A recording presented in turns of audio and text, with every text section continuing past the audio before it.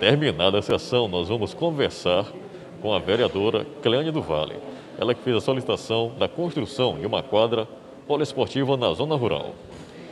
Por qual motivo, vereadora? É, o motivo de eu fazer esta, esta indicação e trazer para a nossa casa é de grande necessidade naquele povoado para que o nosso jovem, os nossos adolescentes possam ter um local de qualidade para é, ter o seu lazer final de semana.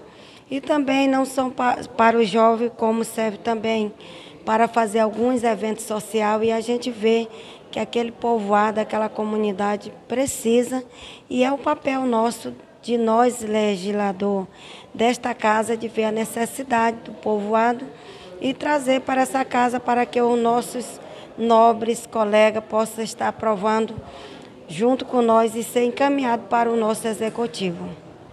Qual é a comunidade? Povoado Estiva da Mangabeira. É um povoado de grande necessidade de que haja esta quadra lá no povoado. Tenho certeza que vai fazer muito aquela comunidade feliz e nesse momento está recebendo um projeto indicado por mim, que sou vereadora daquela região. Vereadora, nós sabemos que a senhora é da área da saúde, é agente comunitária de saúde. E o esporte ele está ligado diretamente ao bem-estar físico, porque também promove a saúde. Esse projeto também visa isso. Verdade.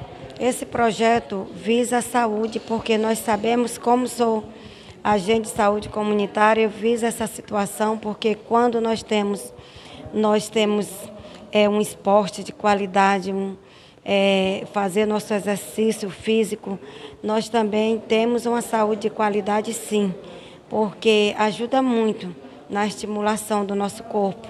E pensando nisso, fiz essa indicação, estou muito feliz de ter sido hoje aprovado na nossa casa, aprovado pelos nossos colegas pares dessa casa.